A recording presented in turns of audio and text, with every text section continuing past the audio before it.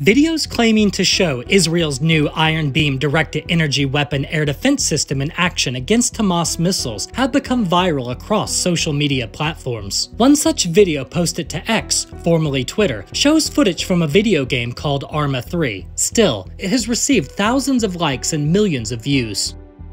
Another video circulating on X, TikTok, Telegram, and YouTube appears to show Tel Aviv bound rockets being intercepted.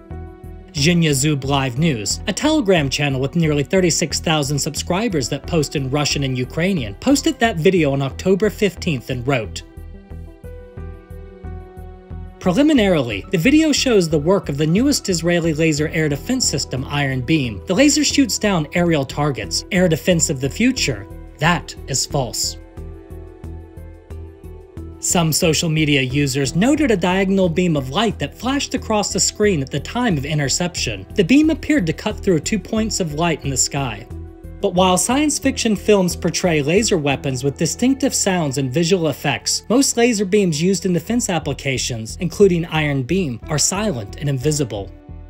Open source investigators say the footage in Jenya Zub live news shows Tamir missiles fired from Israel's Iron Dome air defense system intercepting Qassam rockets fired by Hamas's military wing.